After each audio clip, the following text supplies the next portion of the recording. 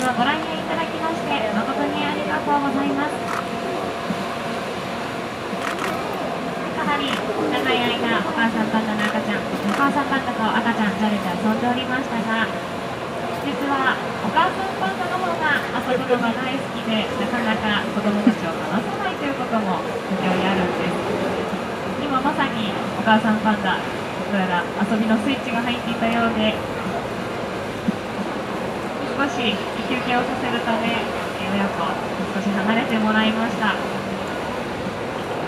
ダウフィンは非常に小煩悩で子供と遊ぶのが大好きです。子供が甘えてきた時にはもちろん応じますしまたお母さんパンダの方から子供たちと遊ぼうと子供に近づいていくこともよくあります。そのためお母さんパンダ食事をするのも忘れていたり眠たいのを我慢しながら子供たちと遊んでいたりもするんですですが双子の赤ちゃんたち育ち盛りです